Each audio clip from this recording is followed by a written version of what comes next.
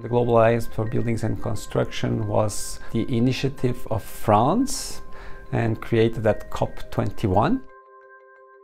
The idea was that actually the building sector has been overlooked in all the discussions uh, in the climate and in the decarbonization agenda overall. When we talk about decarbonizing, it's not just thinking about the operational side of things. Once a building is constructed, how can we actually use less energy in the building?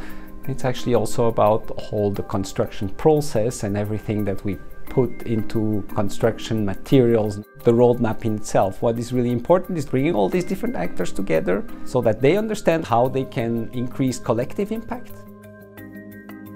The first thing is we need to change the mindset of the stakeholders. Go for alternatives for river sand. Always don't use traditional materials. Go for fly ash brick. Don't go for clay bricks.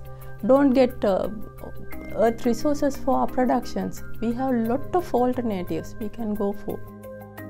The question is, why is it that over the years we've not been able to make a considerable impact in the use of local building materials?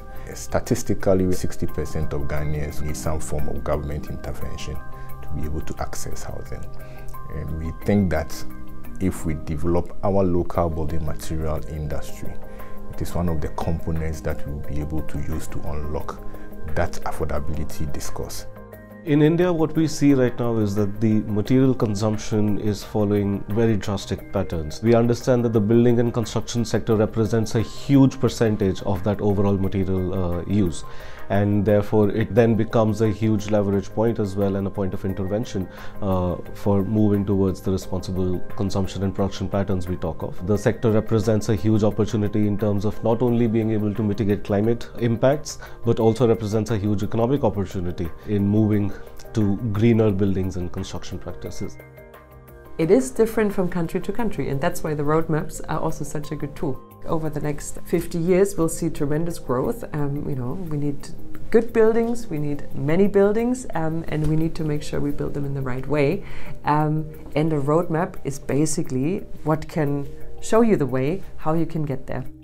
One of the reasons that UNOPS was brought into this process is due to the fact that we are an implementation agency. So while developing the tools and the guidance for the creation of the roadmaps, we're very much keeping in mind the fact that we do not want this report to be sitting on someone's desk.